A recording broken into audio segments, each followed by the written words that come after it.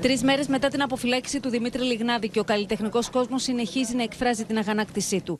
Οι ηθοποιοί πριν από την έναρξη της παράστασης Η Ανατολή στο αρχαίο θέατρο της Τύρινθα στο Ναύπλιο διάβασαν επί σκηνής ανακοίνωση του Σωματείου Ελλήνων Ηθοποιών, εκφράζοντας την οργή τους στην απόφαση του δικαστηρίου να αφήσει ελεύθερο τον καταδικαστέντα σκηνοθέτη. Κάθε μέρα που ο Δημήτρης Λιγνάδης κυκλοφορεί ελεύθερος, όχι μόνο εμείς, αλλά ολόκληρη η ελληνική κοινωνία κλείνεται στη φυλακή. Οι άνθρωποι του πολιτισμού, πολίτες της Ελλάδας, πατεράδες και μανάδες παιδιών που μεγαλώνουν εδώ, ζητάμε την άμεση άρση του ανασταλτικού χαρακτήρα της καταδικαστικής απόφασης.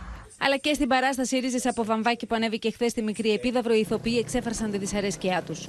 Το συγκεκριμένο δικαστήριο, με προεδρεύουσα την κυρία Παναγιώτα Γιούπη, όχι μόνο δεν έκλεισε τον ένοχο παιδοδιαστή στη φυλακή, όχι μόνο δεν δικαίωσε ένα ολόκληρο κοινωνικό κίνημα με ζητούμενο την αξιοπρέπεια και την ελευθερία, αλλά επιπλέον ανέχτηκε επί μήνες στη δικαστική αίθουσα να διασύρονται τα θύματα. Στο Διεθνές Φεστιβάλ Χορού Καλαμάτας αναρτήθηκε πανό για την υπόθεση του Δημήτρη Λιγνάδη που έγραφε στα αγγλικά Οι βιαστές πρέπει να είναι στη φυλακή.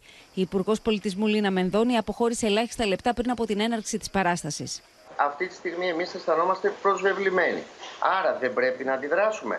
Δεν πρέπει να δείξουμε την αντίθεσή μας όχι στην κρίση της δικαιοσύνης, αλλά σε ένα νόμο που επιτρέπει να γίνονται αυτά τα πράγματα. Μήπως πρέπει ο νομοθέτης να ξανασκεφτεί τον νόμο; Τον κρίνεις ότι δεν είναι έτοιμος για την κοινωνία με την έννοια ότι δεν έχει συμμορφωθεί για μεγάλο χρονικό διάστημα; Και μετά όλο αυτό αλλάζει. Και πρέπει να σταθεί ελεύθερος.